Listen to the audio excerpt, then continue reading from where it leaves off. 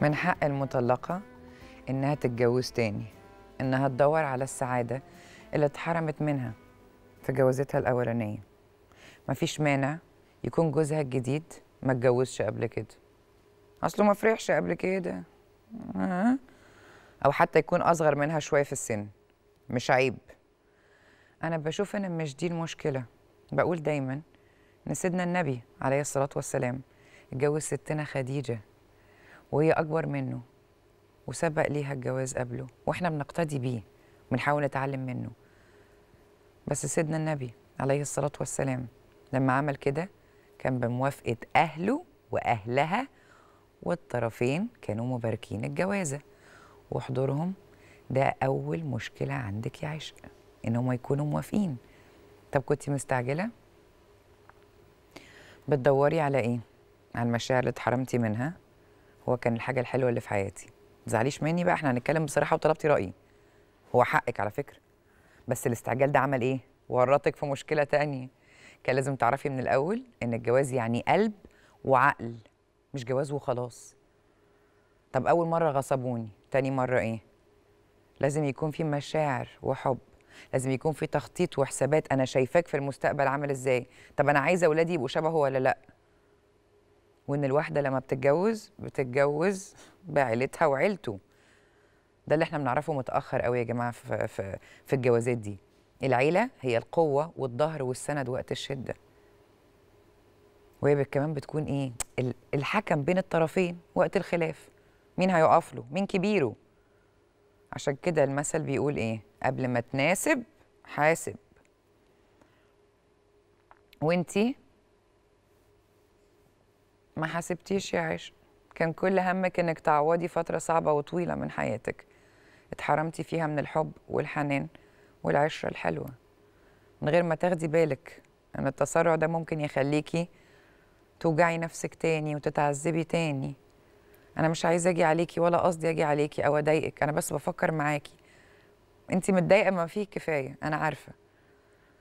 بس عشان نعرف نحل صح لازم نفكر ونقيم الأمور صح. تعالي نفكر مع بعض كده. في اللي جاي بصوت عالي أنا هفكر معاكي. النهارده وأنتي متجوزة ومخلفة من جوزك التاني. هيبقى أصعب بكتير من امبارح لكن على الأقل لسه الموضوع في إيدك. طب قولي لي يا عشق لو زعلك وصدمتك خلوكي تسيبي جوزك بعد ما اتحبس وخرج ندمان وعايز يفوق ويصلح من نفسه. هتكون إيه شكل حياتك الجايه بعد ما تسيبيه وما حسبتيهاش تاني إنه في عيال وفي عيال تانية. معاكي منه طفلة عندها خمس سنين وطفلين من الأولاني. طب أنا ما عرفتش في رسالتك أنت إيه علاقتك بأهلك. علاقتك عاملة إيه ينفع ترجعي لهم؟ هينفع تقعدي معاهم؟ ما عرفتش كمان أنت بتشتغلي وقادرة تشيلي مسؤولية وتصرفي على بيت ولا لأ؟ تصرفي على بنتك أو بنتينك وابنك ولا لأ. بس حسيت إن أنت لسه متعلقة بيه. بس مصدومة وموجوعة وده حقك طبعا. بس نفكر تاني. طب تفتكري لو سبتيه هترتاحي ولا هتتوجعي أكتر؟ طب إيه رأيك لو عالجتي صدمتك بإنك تسامحي وبدل ما تتطلقي للمرة التانية وع... وعيالك أكيد بيتظلموا في الطلاق ده صح؟ تستغلي فرصة إنه ندمان وعايز يفوق وتساعديه وتساعدي نفسك وبنتك ده هو اللي جاي برجله ده هو اللي اعترف لك طب إيه رأيك لو تخليه يحاول آم، يصلح أو يعتذر لمراته اللي سابها بسببك مع إن أنت ما كنتيش تعرف ما كنتيش تعرفي. بس يمكن لو أنت جبرتي بخاطرها ربنا يجبر بخاطرك باللي جاي. ده ده ده أكيد. أنا بقول لك يمكن لو فكرتي كده يعني. أو يحاول إن هو يحسن علاقته بابنه وتبقى علاقة ولادك برضو بأبوهم حلوة ربنا أكيد هيردها لك. ما هو الخير دايرة. راجعة لك راجعة لك. جربي كده تديله فرصة تانية يا عشق. ما تجربي. هتخسري إيه؟ انت شخصيا كنت محتاجة فرصة تانية وربنا اداها لك وقلتي ده كان الحاجة الحلوة اللي في حياتي. مش عيب إن الواحد يغلط كلنا بنغلط. العيب إن الواحد لما يغلط ما يعتذرش أو يعطل أو يكمل في الغلط. وهو جه واعتذر مش عايز يكمل في الغلط. ما تدي فرصة تانية لنفسك. وللي قدامك يعني اديله فرصة ما تسامحي مش هقولك تعالي على نفسك تاني لأن التعب النفسي تعب لك جسمك يا حبيبتي. بس هقولك حاولي لو قادرة يعني أنا حاسة إن أنتي رسالتك عتب بدلع يعني لسه فيه حتة كده. فإيه؟ كل واحد فينا ليه حساباته واللي ينفع ليا ممكن ما ينفعش ليكي. عشان كده أنا ما بسمعش كلام حد إلا أهلي. أنا ممكن أكون بحاول أنور لك حاجات جايز تكون مش باينة قدامك. وعايزة أقول لك على حاجة. قلتها لك من شوية أنا ما بسمعش كلام إلا أهلي. أنا لا عمري هقول لك أصغر منك. أنا حتى لو أصغر منك ب 15 سنة.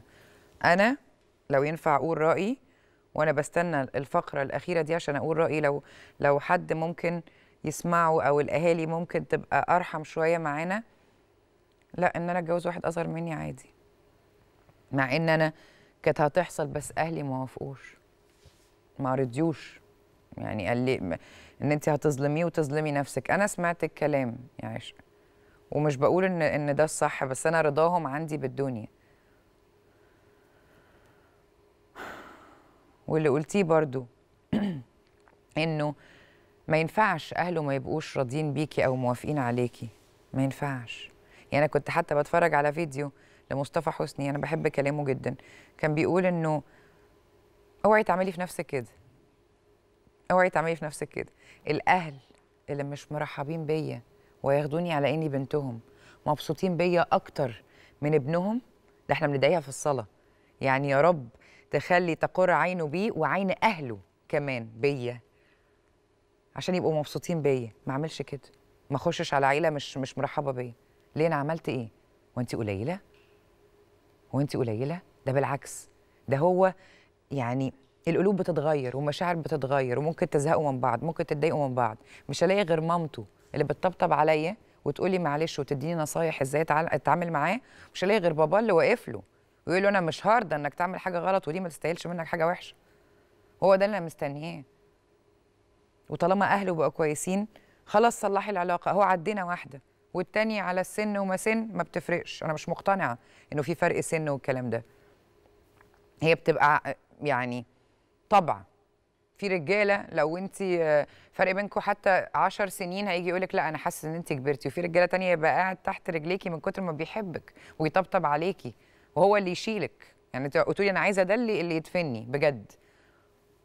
هي ملهاش دعوة لا بسن ولا إن هو كان متجوز. ممكن يكون ما كانش عايز يوجعك يا عائشه مش عايز يقولها لك. ممكن يكون كان بيعمل كده رضا لأهله فعلا.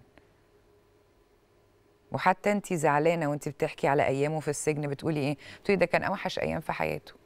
يعني صعبانة عليكي صح؟ ندي فرصة تانية وتالتة وعشرة. ده إحنا شفنا القسوة والذل والضرب وكنا مستحملين. نيجي للي يعترف لنا. نفرمه؟ نيجي عليه؟ خصوصا إن هو كمان بيقولك أنا تبت. وخلاص واللي حصل حصل. ما تحاولي تنسي وتتناسي وتبسطي تبسطي بس. يعني تخليش حد يخرب عليكي حياتك ولا يقولك كلام ملوش لازمة ولا يقولك أنا أنا أنا عندي إنه دايما نرجع ودايما نكمل طالما ما فيش ضرب أو ذل أو إهانة. وهستنى منك رسالة جديدة تطمنينا فيها عملتي إيه. وهستنى من كل اللي اتفرجوا علينا. وسمعوا قصة عشق. يبعتوا لنا على فيسبوك وتويتر وانستجرام واتساب كمان. يقولوا لنا لو كانوا عاشوا نفس الأحداث. لو كان نفسه يتجوز واحدة أكبر منه وما عرفش. أو كنت عايزة تتجوزيه وأهله ما وافقوش. عايزة أسمع. عايزة أقرأ كل ال comments وكل القصص اللي تبعتوها. نتقابل في حلقة جديدة وقصة تانية. بأبطال تانيين في قصة حقيقية. bye bye